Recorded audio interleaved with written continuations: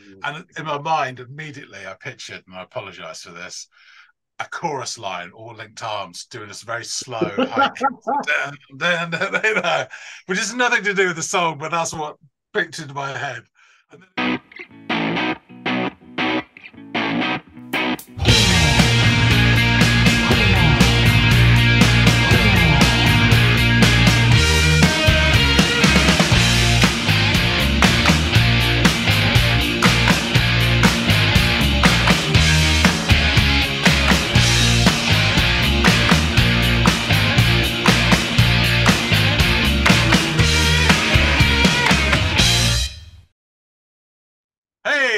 Everybody, and welcome to another episode of The Audiophiles.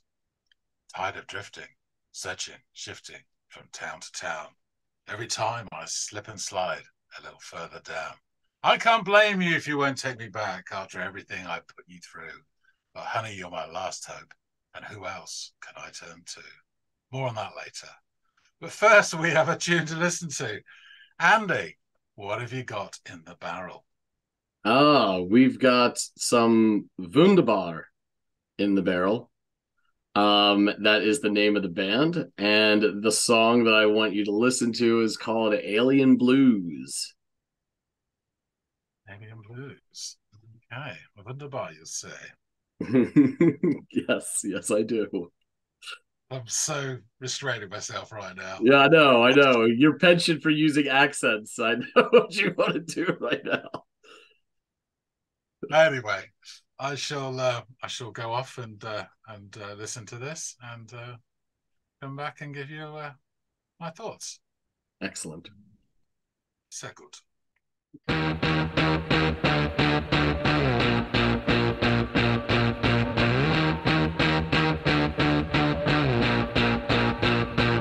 Was it the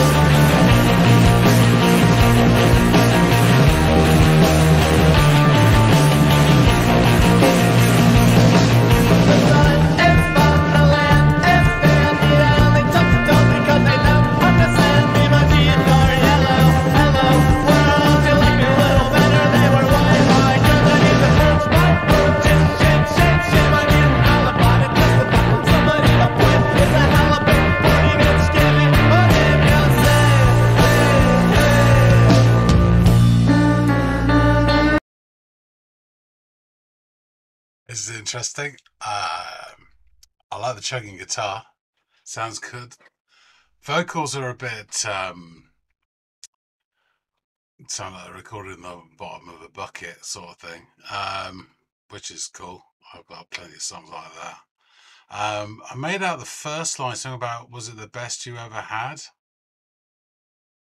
Um, the na na na na na oh oh oh oh sing along. Kind of familiar. Reminiscent of something. It's not the same as something but uh, and i did hear him go shit shit shit. I'm sure i heard that. Um interesting start. Love the thumbnail. Um we'll see how my god this is a short song. I was to say see how this goes but we're over halfway. Okay. Short but sweet Thank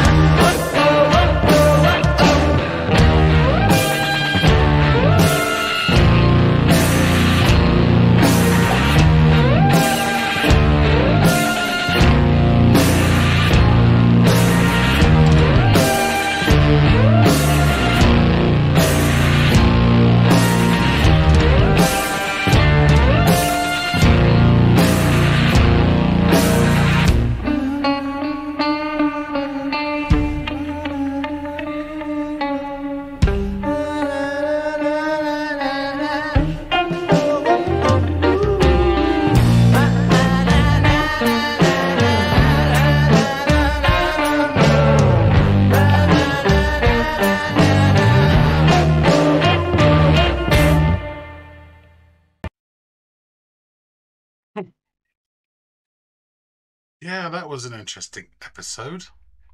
Um, I'm not sure. I lo- it actually had a lot of charm and it won me over. Um, and they did lots of tiny variations actually, with a sort of treading bit and then the sort of really almost soft picking bit. Um, God damn, I'm gonna have to listen to that again. I was starting to find myself enjoying it towards the end. Um, yeah, that's really interesting. God damn, I'm gonna have to listen to it again. Better get back to Andy and uh, find out what the hell is going on. Okay, you're back, and what say you of Vundabar? Okay, I'll, I'll be honest with you. I went for a bit of a journey on this song, which doesn't sound even feasible considering the length of the song. But, uh, but yeah. Um, first off, first impressions. I like the thumbnail. It's just liked it. You know, no reason why. I can't tell you what it was I liked about it. I just yeah, good. I like Yeah. that. Um, so it starts with this chugging guitar riffing, and bizarrely, it's almost almost exactly the same as the start of the song "Something for the Weekend" by Super Furry Animals. I doubt that Vundabar have even heard of them or this song, but um, Super Furry Animals is much higher. It's dim, dim, dim, dim, dim, dim, dim, dim, and it kicks in the song, and it's just almost the same. Just weird because Hmm. I think it's riffs circulating the ether, and artists plot them, and you know that sounds cool. And they may or may not have heard it. It doesn't make any difference, but it's nice. It just reminded me of that. Um, I thought, oh, this is nice. It's a good start, and then the vocals kick in. Um, and I think the first line was, "Was it the best you ever had? Was it the worst you ever?"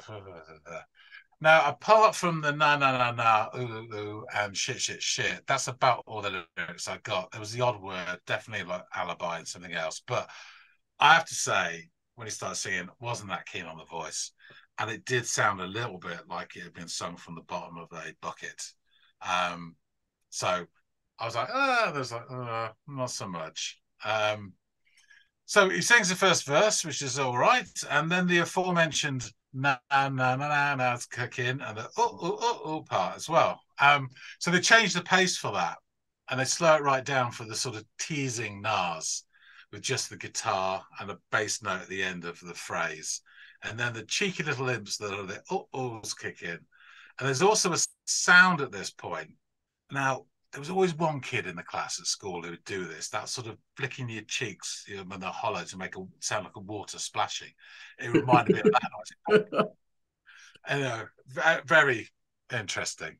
Well, all of this to me sort of gave off like a schoolyardy vibe, you know, and even the the na nas they weren't sung that way, but it's almost like na na na na na, and you know, and so oh oh oh, it's like they are definitely kind of cheeky stroke defiant stroke piss taking you know it's weird that's the vibe i got from it but then they do another rotation and the next load of nas build with guitar chords and it's that slow sort of powerful dun. Mm. and in my mind immediately i pictured and i apologize for this a chorus line all linked arms doing this very slow high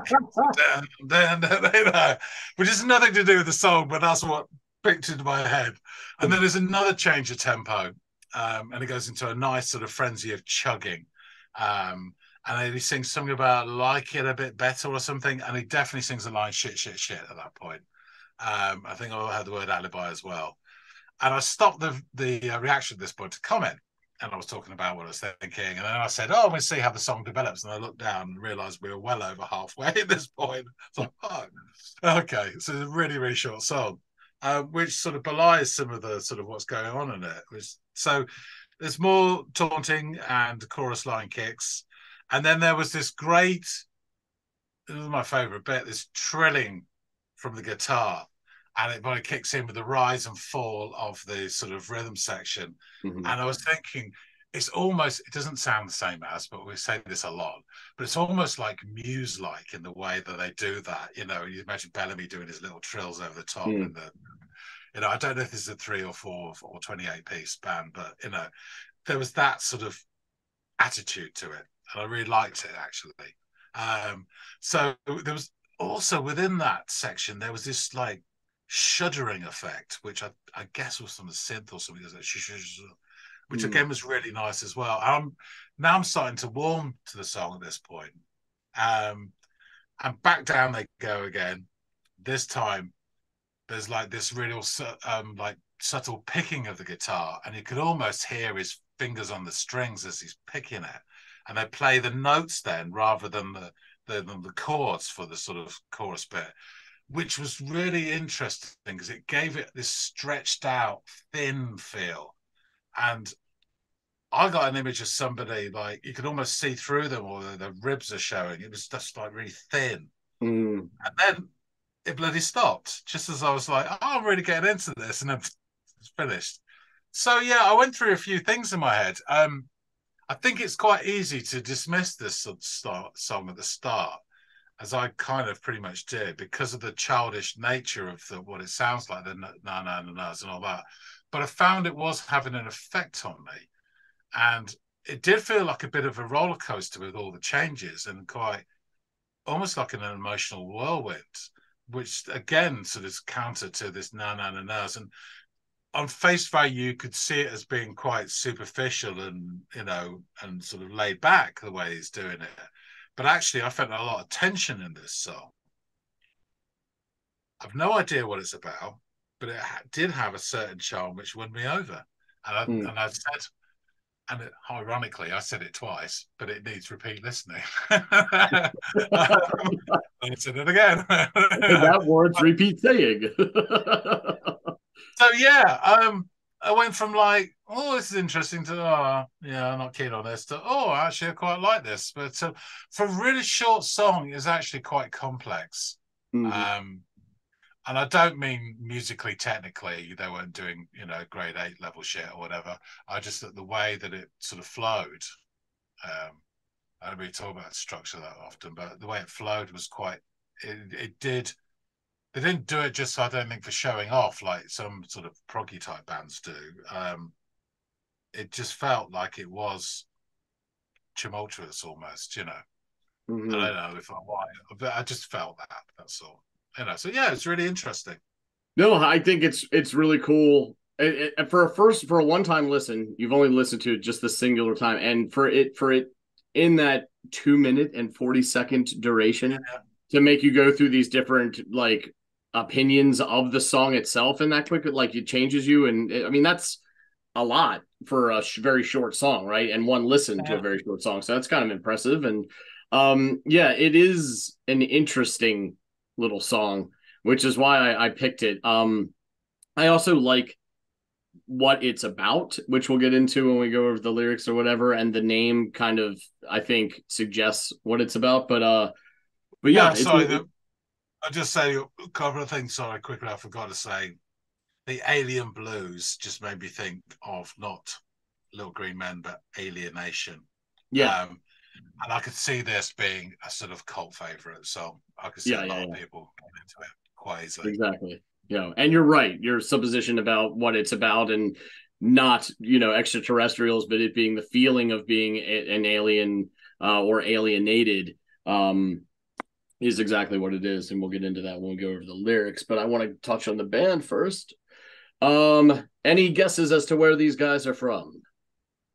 Well, with a name like Vundabar, I'm thinking Croydon. Austin, Massachusetts. But no, when you think about someone like, you know, Pixies, Boston, that sort of attitude band, it kind of Yeah. does make sense. You know, Yeah, yeah, yeah.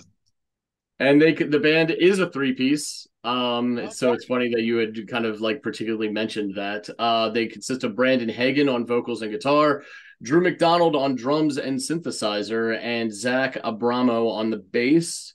Um, as influences, they're kind of all over the map as far as who they've said has influenced them as artists. So they've named Dick Dale, who is like one of like the godfathers of like sur- American surf rock guitar um and the OCs who we've covered on this I didn't write all the different ways that they've said their name throughout their history but that's who we're talking about um uh, and like many bands there that influenced them, you know. yeah, yeah, yeah. Um, yeah, just in the OCs, that's like six or seven different bands, right? I Um, remember in serial killer notebook with all the names in. exactly the drawings. Um, then uh, an electronic band called Burial is also someone else that they've said has influenced them, as well as Tame Impala. So they've got uh, quite a wide swatch of influences on their sound. Their musical de- style has been described as indie rock with elements of post punk, jangle pop, and surf rock. AllMusic describes their style as jangly, fuzzed out math and surf tinged indie rock, shot through with plenty of post punk spirit. Uh, the Well, band that's is just an released. label, isn't it? Really, What, what's that? it's just an obvious label. Very lazy. yeah, label. yeah, right. Uh, um, the band has released five studio albums and three P, uh, three EPs, uh, and for their second album, Gawk, uh, Vundabar adopted a more gritty tone, and that's the album that this song is featured on, which is the thumbnail that you saw. Um, that very crudely drawn individual with the frazzled hair. It's pleasing though. I don't know why, but it is pleasing yeah, to the eye. yeah, it is fun. Uh, and um, they also this is around the time that they started to incorporate more of a post punk sound uh, into the mix. And Gawk received widespread praise from critics and fans, and quickly became the band's breakthrough album. Uh, and Pitchfork called the album a charming, chaotic pile of surf, math, and art rock, um, which I think is an excellent way of describing the song and the album. Uh, Anna Marchetti of Sound of Boston writes in her review of the album on Gawk, chunky bass laden riffs support buoyant vocals that venture to a side of uh, to a side of Vundabar that's darker than their debut album, Antics. The Boston trio have have established themselves as a unique Baroque pop meets freak folk hybrid that comes at, at a refreshing as a refreshing change of pace from the predominantly post punk wave that seems to be sweeping Beantown. Um, and in an excerpt from a review uh, on the album on WordPress, the critic describes the track Alien Blues by writing, This one kicks off with a stuttering, fuzzed out riff that flows into a C6 sounding chorus that packs a huge wall of fuzz. Um, and I actually think that that is uh, really apropos the C6 sounding chorus, which does have this sort of like, I don't know, uneasy tension or anxiety about it, um, which I think is really, really neat and probably goes with that sort of theme of antisocial or being an- alienated and not feeling like you're normal or fit in or whatever.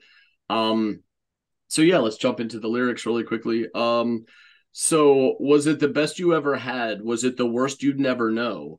I tried to tell you what I think and pay it and play it off like it's a joke. Oh no, more surprises. Guess it's like this. I'd do anything for you, Mrs. Highness. Na na na na na na, and then all that the nas and the o's. Um, and then verse two. Uh, the sun is fun, the land is dandy. I only talk to dogs because they don't understand me. My teeth are yellow, hello world. Would you like me better if they were white like yours? I need a purge my urges. Shame, shame, shame. Not shit, shit, shit. Shame, shame, shame. Yeah. I need- I could have sworn it was shit, shit, shit. uh, I need an alibi to justify somebody to blame. It's halibut party bitch. Give it give it a name and say hey hey, and then it goes back into the chorus, which repeats itself. The nas and the oohs and all that fun guitar shit is happening in that bit. And yeah, um, I don't know for a t- two minute and forty second song that kind of covers this um interesting look at feeling like you're not you know part of the norm or following societal norms and you're an alien unto yourself as a pretty pretty fun way of doing it against this interesting backdrop that is this jangly guitar shit that's happening all over the place. And i, I just think it's fun and kind of manic. Um and throughout the song Vundabar explore the feeling of being an outsider or an alien as the song title suggests portraying the desire to fit in and be understood. The lyrics paint a vivid picture of a lonely individual grappling with their own identity searching for meaning and connection and yeah that's a synopsis of what it's about you pretty much picked up on that from go um and thank you for giving it a listen man Yeah, it's fun. awesome My Great. emotional roller coaster. It was Yeah, a little bit, a little bit, just interesting. uh, You know, not like whoa, whoa, but like, oh man, this is really introspective, but over this really playful sound, um, which only adds to the the the what makes it interesting to me anyway. So, everybody out there in the listening audience, let us know what you thought of Vundabar and this tune Alien Blues. Uh, if it makes you think of anything, if you enjoyed the guitar, if you weren't much a fan of this song at all, that's all right. The comments field is there for a reason, and we love interacting with you guys. Also, drop suggestions if you'd be so kind. We will continue to slowly, slowly chip away at that. But uh, we always enjoy our Friday episodes and, and hearing new music from you guys, or one of us revisiting a song that we know and giving it to the other, knowing they haven't heard it yet. So uh, we always appreciate you guys helping us create content and interacting when we create content on here. And feel free to like, share, and subscribe if you haven't. We're trying to grow the channel. So if you're new here, think about staying true here and sticking around. Um, we drop episodes Monday through Friday. Uh, so please join us on the next episode of The Audiophiles. See you later, guys.